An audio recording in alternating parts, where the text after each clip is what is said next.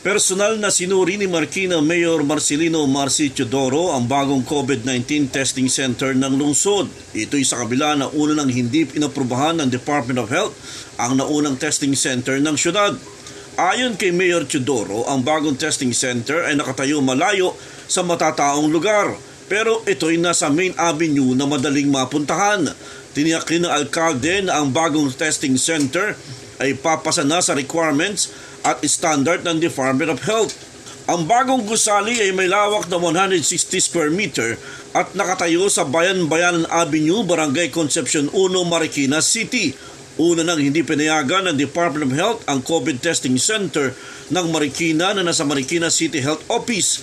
Pagkos pinayo ng Department of Health si Mayor Chodoro na ihiwalay sa City Health Department ang COVID-19 testing center para maiwasan ang hawaan at pagkalat ng sakit. Sa ngayon, aabot na sa 21 ang kumpirmadong kaso ng COVID-19 sa Marikina City. Apat ang gumaling na habang apat ang namatay. Sampu naman ang person under investigation at 41 ang person under monitoring.